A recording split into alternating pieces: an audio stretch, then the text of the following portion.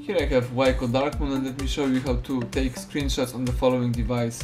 So at first let's open the screen that you want to capture. In my case it could be for example a calendar and let's just simply assume that I want to save the following screen. So all I have to do is use the combination of keys, power key and volume down. Let's hold down together these two keys for about 2 seconds. And as you can see and hear the device just took a screenshot. So let me do it again. Let's hold down simultaneously power key and volume down together for about a couple of seconds and you just save another screen. Now if you would like to share, edit or delete taken screenshots, you have to find the screenshot folder. You can do it by using an upper bar and here by tapping the screenshot captured.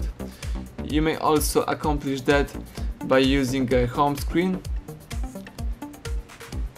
tapping apps icon, then choose gallery and under albums you've got screenshot, let's tap it.